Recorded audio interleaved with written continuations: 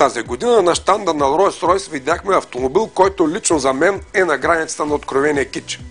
Може би съпругата на някой руски олигарх или някоя азиатска принцеса е поръчала създаването на този изрисуван с цветенца фантом, наречен Серенити.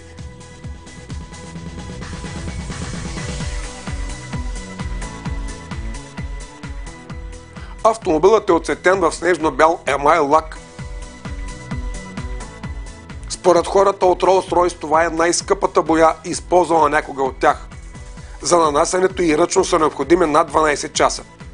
Не по-ефтино е оборудването на Фантом Сирените, за чиято изработка са били нужни над 600 човеко часа изключително ръчен труд.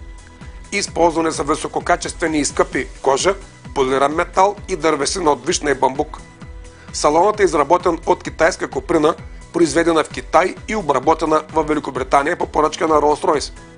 Оформлението на тавана напомня начина по който са изработвани дрехите на японските императори от 17 век.